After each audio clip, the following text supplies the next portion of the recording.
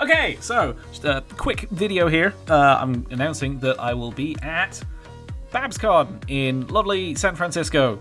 Um, and it's of particular note that I'm announcing that I'm being there because I am also going to be vending. Um, I at table C2, which is in the little vendor room off to the left when you go in.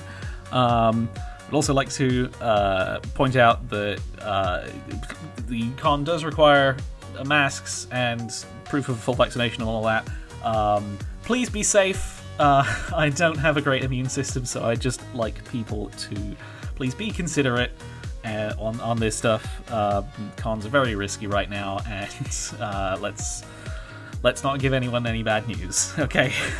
um, yeah. It's half two on the night before I travel, so I should probably go to bed. I'll hopefully see you guys there.